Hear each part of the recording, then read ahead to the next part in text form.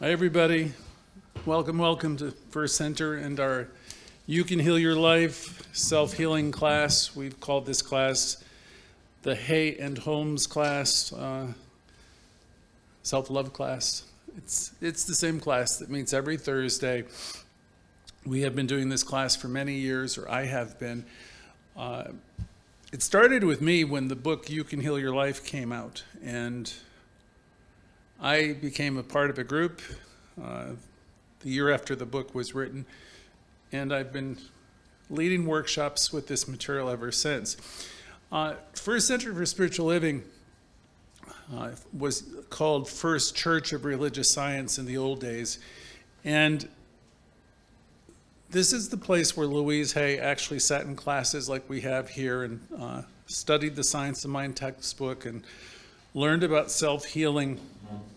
And most of her treatment uh, work and things that she mentions in her book had its origins right here uh, with us uh, and what she studied here and what you can engage in here too uh, in our various classes. But tonight, it's a night for us to uh, get a little spiritual lesson and hopefully give you something powerful to think about. Uh, the lesson title uh, is it's really about the work we do. And nobody likes the word work.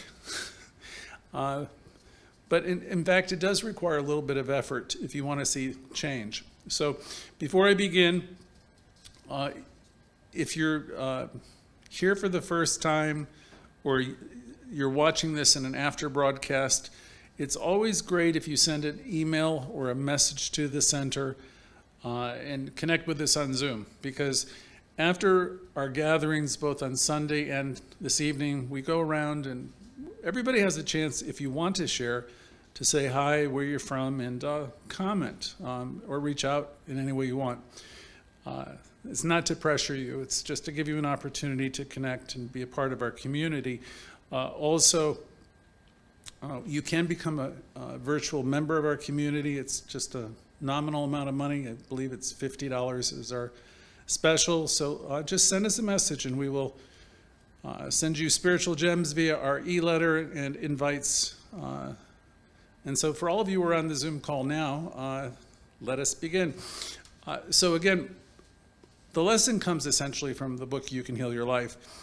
Uh, and most of the work from Louise Hay, once again, came from Ernest Holmes' uh, uh, book, textbook.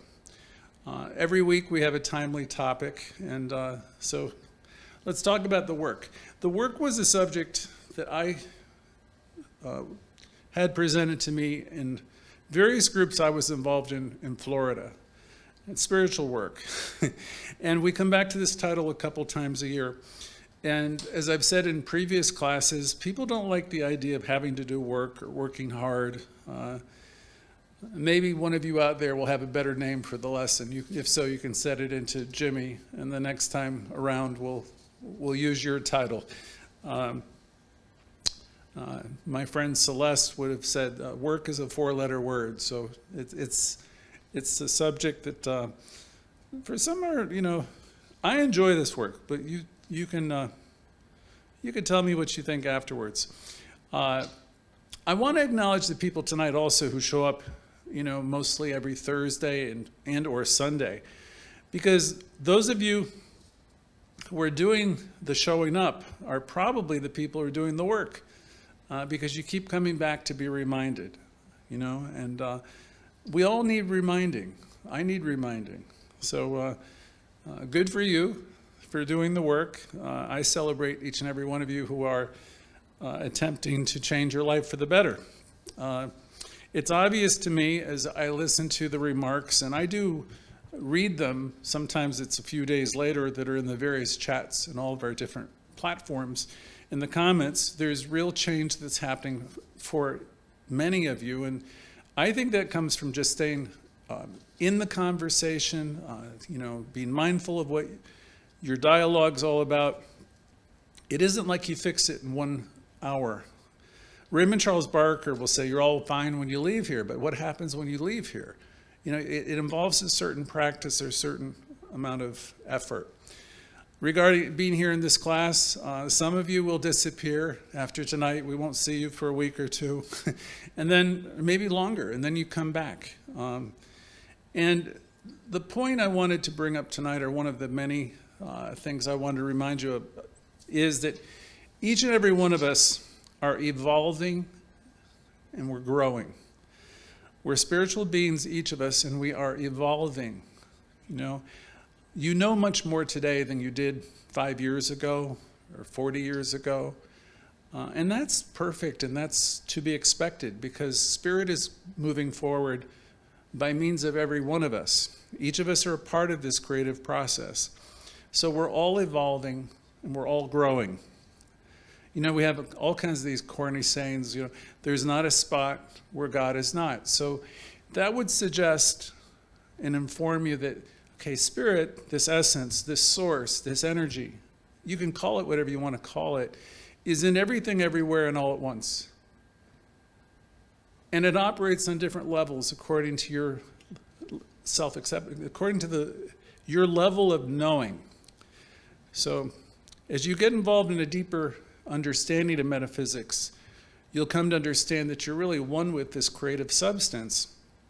And as you connect with it more deeply, you'll see how your world will turn, it will change, and how it will evolve as you learn to work with it. So we're, we're being open and receptive tonight to working with spirit.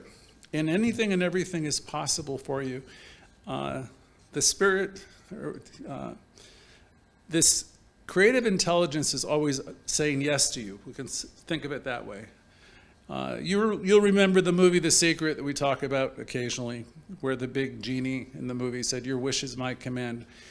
Well, it's really like that. As you believe and as you understand and as you know, life reflects all of that in your life. Um, when we have people coming into this class, and some of you will be listening maybe a month from now on YouTube or somewhere else, uh, I know that you want to evolve and you're willing, you're developing a willingness to challenge yourself to see things in a new way. And I'm here to say you can do it. You can definitely, no matter what your circumstances are, they can be bettered by being involved with this teaching and beginning, and, and by beginning to practice, you know, what we're teaching here. So there needs to be a degree of vigilance, or if that word's uh, vigilance would mean I, I would need to be watchful and I need to pay attention to what it is that I'm thinking and what it is that I'm saying, you know, throughout the day and the week. Because we have a whole discussion that goes on within us. And you're the only one who can assess, you know, uh, whether, you know, you're the only one can do an inventory and just say, hey, look, I'm really being down. I'm, my perspective is really off. I'm negative. And if that's so, you know, we're not here to beat you, beat you up, and certainly we don't want you to beat you up. But it's really important to pay attention to what it is and how it is, how you're showing up in terms of not what you look like to the world so much, because any of us can dress up and look fine and put on a mask. But what is it that lives within you, right? Is it fun? Is it joyous? Is it filled with positive expectancy? Uh, that's the goal. Because when you have a sense of joy and fun and positive expectancy, when that lives within you, that is what outpictures in your world. Uh, so as you work, do this work, you're going to see great changes sooner than later. Uh, there used to be a prosperity teacher, an abundant living teacher in New York City. Some of you know him as Reverend Ike.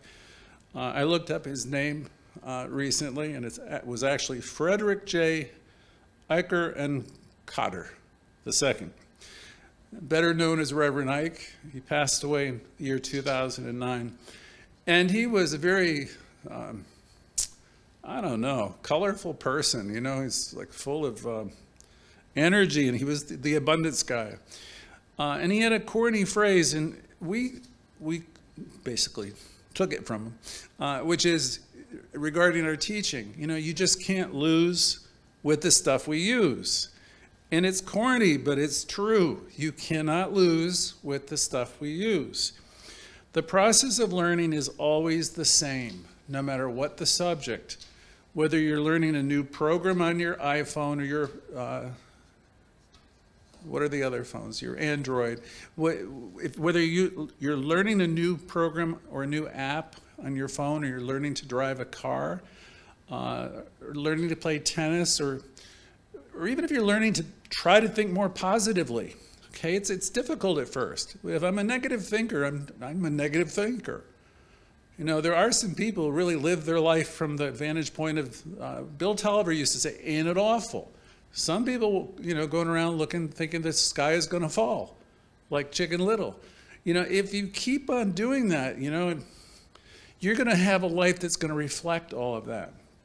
So to turn all that around, that type of thinking, um, and we all have some of it. You know, it requires paying attention.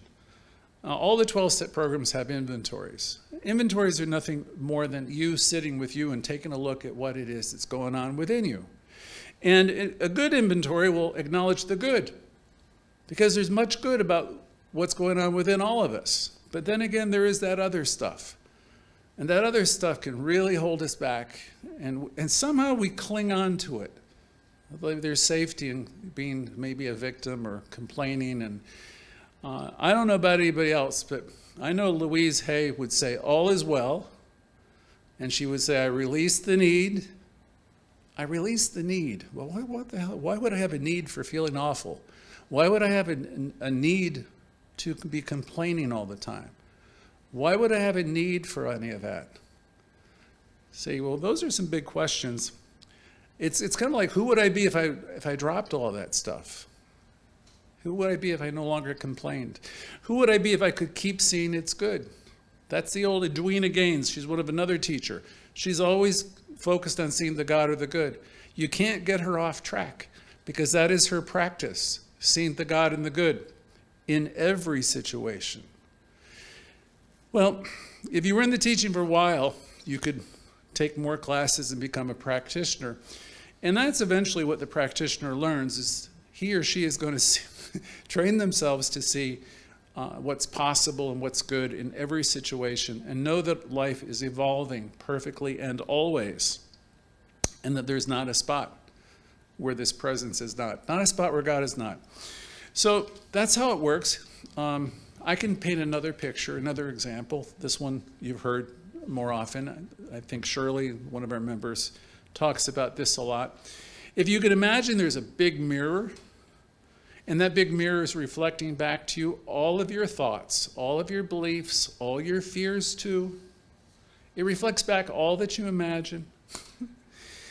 if you can imagine you have this big mirror that's reflecting everything back into your life, then you're going to understand better how this process works. Now imagine if you've been around on the planet for 25 years or 45 years or some of you even 75 years.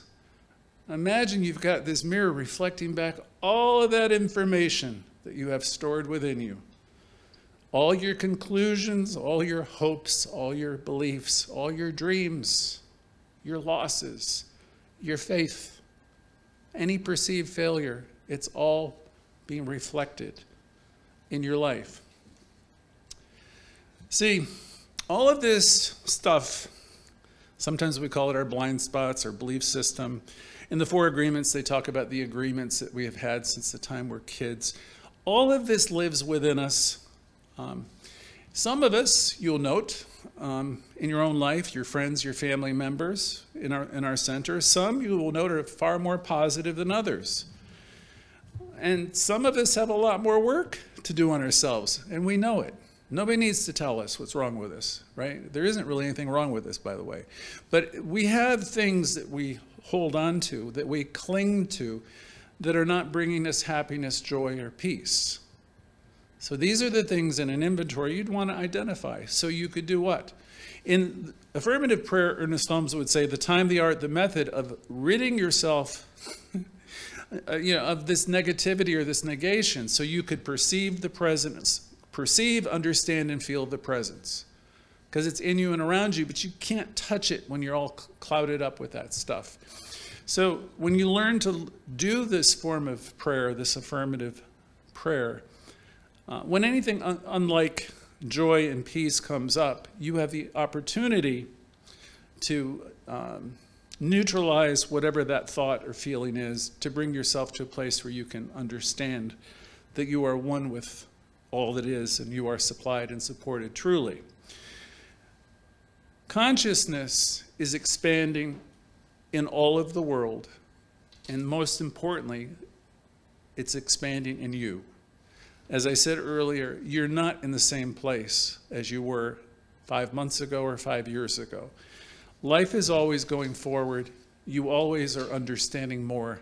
You're never in a place where you're understanding less. So that's one of the great things about life. Life is moving forward. The whole planet and everyone on it is evolving. You don't need to worry about what's going on with everybody else.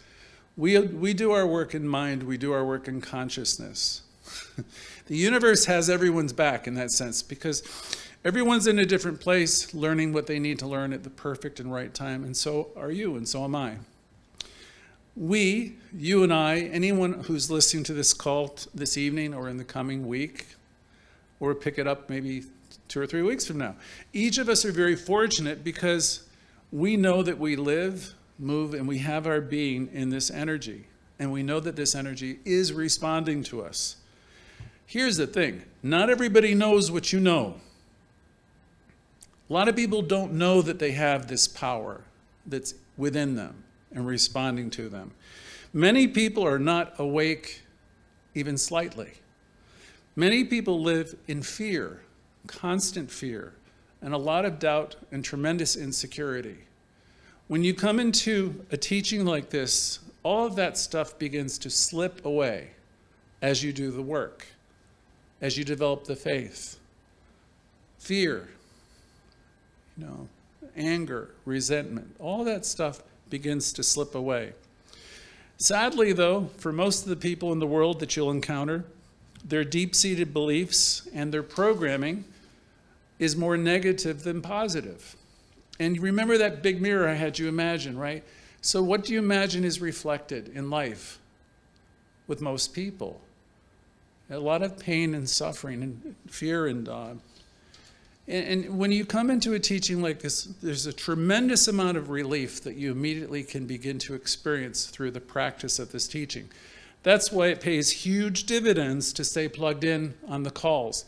Now, this may not be enough just Tuesday and Thursday, but it's a great beginning because we'll always be reminding you of how wonderful you are, how wonderful life is, and just keep on reminding you of the greatness that you are. Because if you've got a lot of this negative spiral downward thinking going on, uh, if you keep tuning in, we can keep on reminding you of the opposite of that. But the work that is done is always done in consciousness. We say it's done in mind, and you're the person that does it. Um, any of the practitioners or the ministers, we would do it for you if we could, but it simply doesn't work that way. Um, you have everything you need. You can call us when you, you're stuck because we'll remind you. Uh, and we can teach you how to do affirmative prayer. Affirmative prayer is not a complicated thing to learn how to do, and we'd be happy to help you, teach you. Uh, so, again, uh, all of you who are able to take this in, myself included, are very, very fortunate people in the world. You can't lose with this, this stuff that we're using. Uh,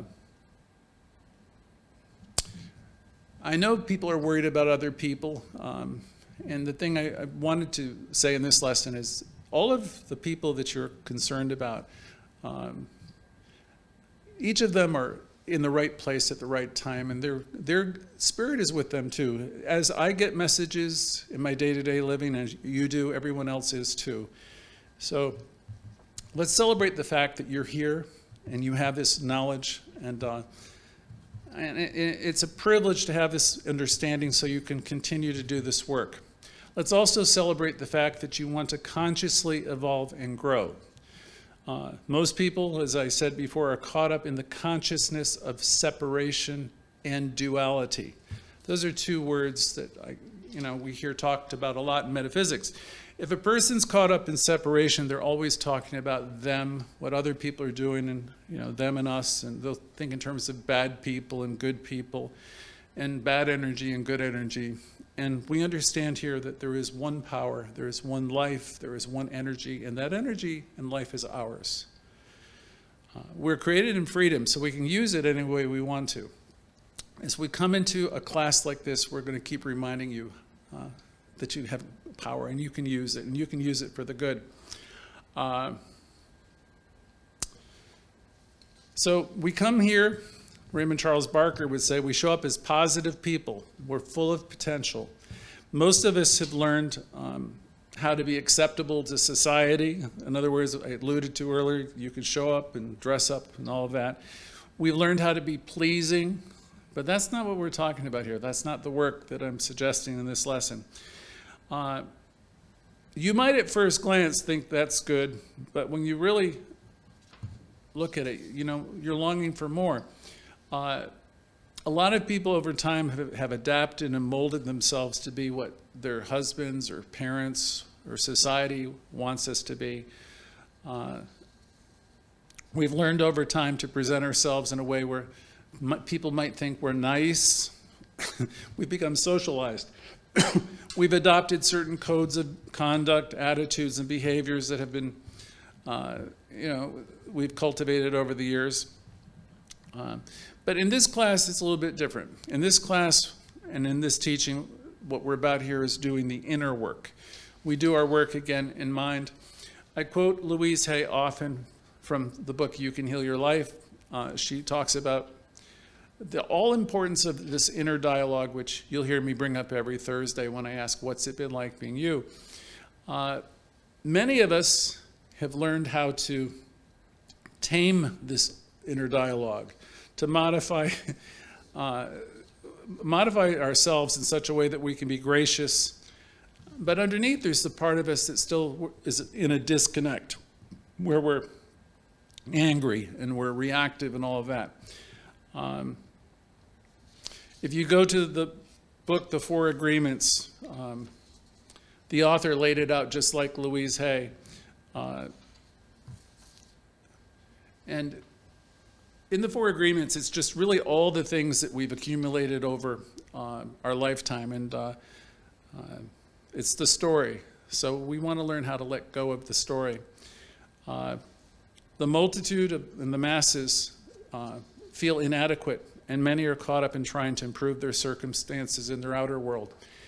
Uh, they're always trying to prove something to someone that they're good enough, and that type of thing.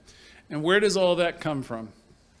Uh, that comes from your belief system. So uh, I think today uh, the question I want to throw out is uh, come right back to the, the beginning.